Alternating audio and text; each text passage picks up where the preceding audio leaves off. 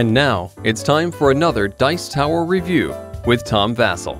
Hey folks, today we're taking a look at a game called Storytelling, which has a huge box, unnecessary of course, and also kind of an odd name. I mean, I guess it's storytelling, although the game itself, while storytelling is part of the game, the game is more of a memory style game. But hey, whatever. This uh, game includes classic tales as uh, The Three Little Pigs, and The Hare and the Tortoise, and Cinderella, and St. George and the Dragon. All of those are in here. Let's see how the game plays.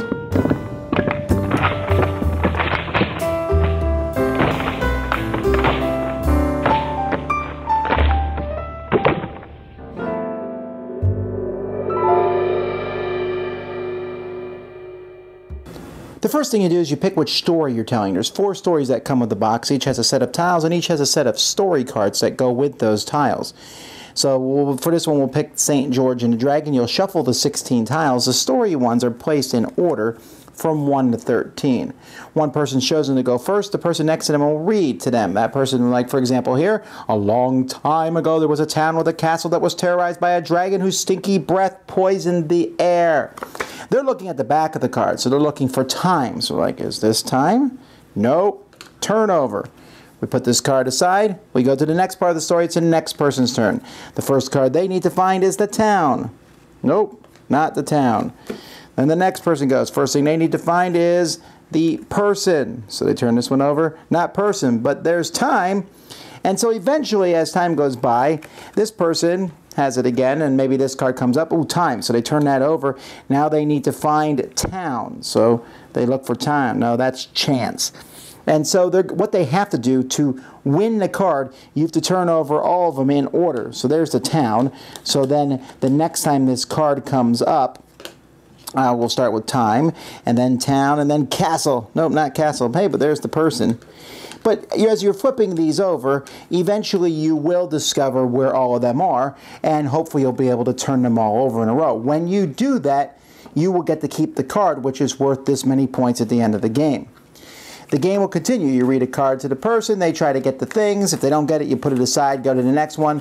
When you get to the last card, you take all the cards set aside, go through them again, and you keep going till there's only three cards not taken. When that happens, when 10 cards are gone out of the 13, everyone simply adds their points together, and whoever has the most points is the winner. Now, there are various um, ways that you can change each game. This one here, when there's a Dragon Breath card, then you can the you can play an advanced way that it moves it with the three little pigs. When the wolf blows shows, they can all move in one direction. With Cinderella, there's a clock going around the outside. Each player has to decide at some point during the game when they're going to just cut and basically retire for the evening. And if the clock reaches all the way around the whole thing, uh, any player who hasn't retired automatically loses. And then for the hare and the tortoise, you actually will have the hare and the tortoise going around like a, a racetrack around the outside. Every time someone makes a mistake, the hare goes forward one, but anytime someone gets one correct, the tortoise goes forward two. And it's a kind of a cooperative game to get the tortoise there first or the hare. But usually, if you're just playing the basic game, most points is the winner.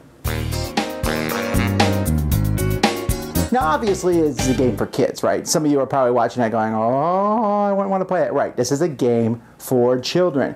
But for children, I think it really works well. There's four different stories which they like, and trying to get things in order works, especially since the game doesn't re keep repeating the same card over and over again. So you're like, okay, I need to find that, that, that. Okay, boom, boom, boom, boom. It's almost like a physical board game version of Simon, for example.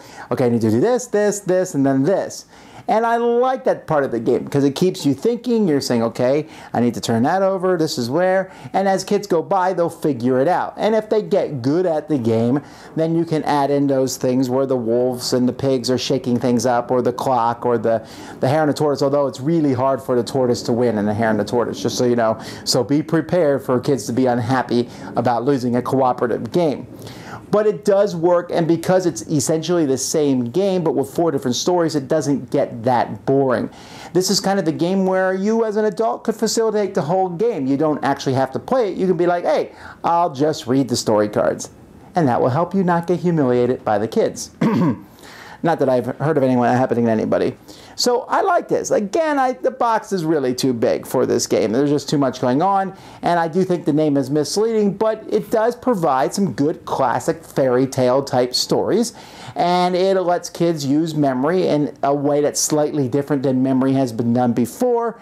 The artwork is cute and fun for kids. They'll like the stories. It will teach them some things about points, and that's mostly memory, though, and that's the gist of it. There's uh, the cards are multiple languages, but um, I basically they, they came with two sets of cards. I got rid of the, the set that didn't have English on them, and these have two on them with English, and it's pretty easy. But the, the story is almost not even necessary, just the pictures, and that's the order you're supposed to do them in.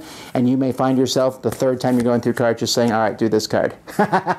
Making the storytelling a bit of a sideline. But for kids, especially younger kids, I think this one would be a big hit. Dice Tower Judgment, approved!